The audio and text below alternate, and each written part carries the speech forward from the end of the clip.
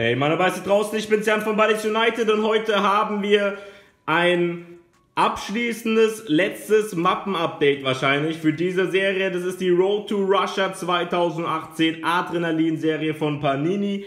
Und zwar habe ich ja schon ein paar Mappen-Updates dazu rausgebracht. Lange kam kein Video mehr dazu, ähm, da durch FIFA 365 und so weiter ähm, andere Serien besonders im Fokus standen. Aber diese Serie sollte man auf jeden Fall nicht vergessen und nicht ähm, vernachlässigen, denn durch diese Serie werden wir gehypt auf die WM nächstes Jahr in Russland und ich kann es kaum erwarten, dass die Serien, Sticker und Karten für die WM rauskommen werden. Ähm, das wird einfach so eine geile Zeit bei jeder WM und EM. Ähm, wird das einfach nur eskalieren, sage ich euch. Und es sind auch einige krasse Sachen geplant, auf die ihr euch freuen könnt. Und wie gesagt, heute ist Finale, denn es hat uns nur noch eine Karte gefehlt und ich habe euch schon vor einiger Zeit, muss ich zugeben, die Karte habe ich ja auch schon länger liegen, gefragt, ob diese Karte jemand hat. Und wir haben mit euch getauscht und ich kann mich leider nicht mehr erinnern, wer es war, mit wem wir diese äh, Karte getauscht haben, aber du weißt, wer du bist. Vielen Dank für alle, die uns immer helfen, unsere Kollektion zu vervollständigen. Und wir hoffen natürlich auch immer, euch so gut wie möglich zu helfen. Ähm, und wie gesagt, heute will ich euch ein komplettes Album, wirklich jede Karte, die auf der Checkliste steht, alle Karten von allen Teams sind dabei und auch noch viele Limited Edition Karten. Ich glaube nicht alle. Ich habe auch noch ein paar Premium Booster und Multipacks und so noch hier liegen mit äh, Limits, die jetzt nicht hier drin sind. Ähm, und dazu werden natürlich auch noch Videos kommen ähm, bei verschiedenen Challenges und so. Aber heute haben wir auf jeden Fall erstmal das komplette ähm, Standardset, würde ich sagen. Und ich würde sagen, wir beginnen gleich mal. Hier auf jeden Fall schon mal eine richtig schöne Auswahl an Spielern, wobei einige ja nicht dabei sein werden. Unter anderem wie Gareth Bale, der es mit Wales leider nicht geschafft hat, aber die meisten sind natürlich dabei. Unter anderem natürlich auch Mats Hummels. Und dann würde ich sagen, beginnen wir gleich mal. Das ist die erste Seite mit Algerien. Die haben nur neun Karten. Darunter jedoch ein Top-Player Riyad Mahrez, also der richtig starke Saison bei Leicester gespielt hat. Letzte Saison war dann nicht mehr ganz so stark, ähm, aber sicherlich die Top-Player-Card damals auch verdient gehabt. Deswegen, ähm, ja, aber sonst neun Basis, acht Basiskarten plus die Top-Player-Karte. Das ist Algerien. Dann kommen wir weiter. Die meisten Teams, wisst ihr natürlich, hatten diese Doppelseiten und ich finde es einfach auch richtig nice aufgebaut und ich bin wirklich gespannt, was Panini sich ausdenkt für die richtigen WM-Karten. Hier waren es ganz viele Basiskarten drumherum um diese vier Special-Karten ähm, und ihr seht, hier haben wir Axel Witzel Keyplayer, Lukaku als Goal Machine, Courtois als Fans Favorite und De Bruyne als Game Changer. Das trifft, glaube ich, auch richtig gut zu auf diese Spieler. Und ähm, ich finde diese Serie richtig nice und diese Serie gibt uns einfach schon mal Hoffnung auf eine richtig geile WM-Serie. Dann machen wir weiter mit Kroatien. Auch die haben ein paar richtig nice Special-Karten mit zwei Fans-Favorite-Karten. Dann weiter Dänemark, auch die natürlich komplett, inklusive hier Kaspar Schmeichel oder Ex-Münchner Heuberg. Dann haben wir die Briten, England auch wieder souverän für die WM qualifiziert. Mal schauen, wie weit die jedoch ähm, kommen können. Das Team ist jetzt nicht unbedingt schlecht, aber in den letzten Turnieren war England ja nicht unbedingt so gut drauf. Dann haben wir natürlich Spanien, auch die sind wieder Mitfavorit auf den Titel. Haben 2010 die, die WM gewonnen. Und ich bin gespannt, was sie reißen können. Haben auf jeden Fall auch wieder ein gutes Team. Und könnten auf jeden Fall weit kommen. Dann machen wir weiter mit Finnland. Die sind nicht dabei. Ähm, wurden, glaube ich, sogar Gruppenletzter oder Vorletzter. Inklusive ihr Bundesligaspieler Lukas Radetzky natürlich. Ähm, aber dafür ist ja so eine Road to Russia Serie auch dabei, um auch ein paar Teams reinzubringen, die es vielleicht später nicht in die finale Sammlung schaffen werden, in die WM-Sammlung. Dann natürlich Frankreich natürlich, darf auch nicht fehlen, der Vize-Europameister. Auch sie werden sicherlich auch ein Titelkandidat sein. Hier unter anderem Top-Player-Karte Antoine Griezmann. Dann kommen wir auch schon zur deutschen Nationalmannschaft, die, glaube ich, ähm, einen Rekord aufgestellt haben. Nie war ein Team so gut in der Quali.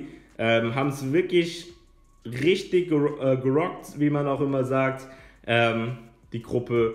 Und das gibt auf jeden Fall auch Hoffnung auf die WM. Ich bin auf jeden Fall optimistisch. Ich glaube, sie könnten es mit der Mannschaft sehr, sehr weit bringen. Ähm, aber das werden wir dann sehen und besonders später und Turnier hat es natürlich auch ein bisschen mit Glück zu tun. Aber ich denke, von der Qualität der Mannschaft sollte die deutsche Mannschaft mindestens das Halbfinale erreichen können. Dann machen wir weiter mit Ungarn. Auch die sind nicht bei der WM dabei. Bei der EM waren sie es. Bei der WM haben sie es, glaube ich, knapp verpasst. Ähm, der Trainer ist jetzt auch gegangen. Unter anderem hier Gulaschi, der ja für mich einer der ähm, Überraschungen der letzten Saisons ist. Ähm, der Torhüter von Leipzig. Ähm, hätte niemand erwartet, dass der jetzt so stark spielt. Auch ich finde ihn richtig stark mittlerweile. In Ungarn ist er die Nummer 1 auch mittlerweile. Und ähm, bei Leipzig auch, obwohl sie mehrere Torhüter die letzten beiden Saisons geholt haben, auch jetzt vor der Saison 1.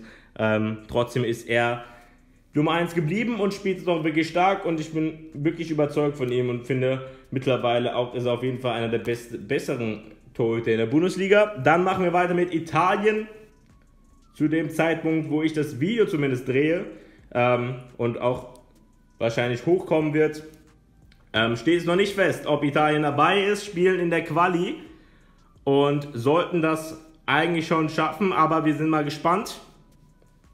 Aber Italien, wenn sie sich für die WM qualifizieren, waren halt in einer Gruppe mit Spanien, deshalb Spanien hat sich ähm, durchgesetzt, Italien muss deswegen in die Playoffs, aber ich bin mir eigentlich ziemlich sicher, dass Italien schaffen sollte zur WM.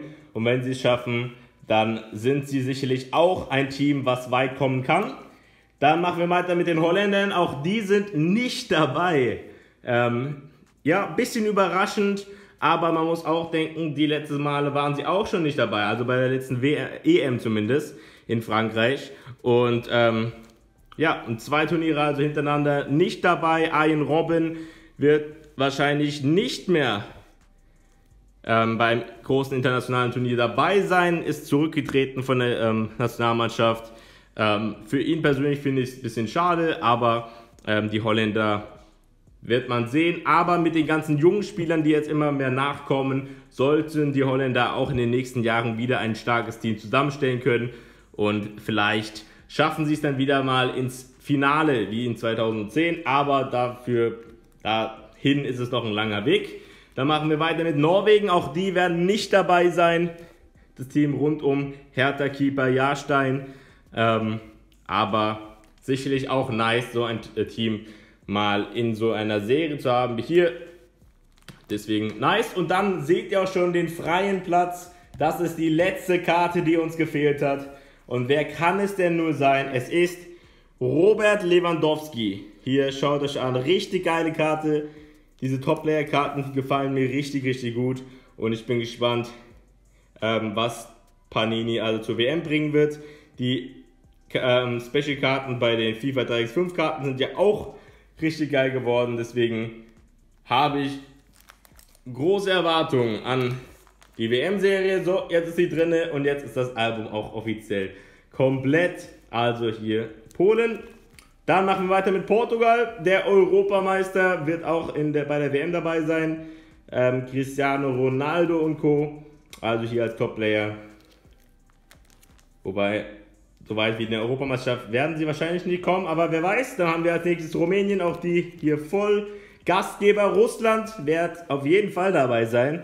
Und bei denen kann man auch gespannt sein, wie weit sie es schaffen werden.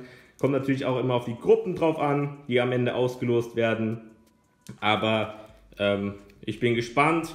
Die Erwartungen sind natürlich nicht wirklich hoch. Natürlich Russland will so weit wie möglich kommen, aber ähm, vom Team her wird es eher schwer, aber man weiß nie, was passiert und es kann natürlich alles passieren.